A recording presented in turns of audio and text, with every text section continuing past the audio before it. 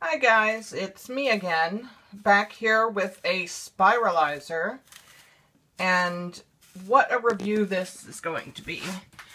Because right now, we are looking at zucchini that we are going to use for a five ingredient zucchini um, noodle thing.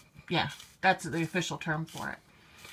So basically, you just put the zucchini on the top and twist. Granted, there were no instructions in here to tell us to how to do this, which is kind of a down for me, but I think it's pretty awesome. So this calls for garlic, zucchini, uh, Parmesan cheese, butter, and spinach. So we'll come back and let you know how it all works out.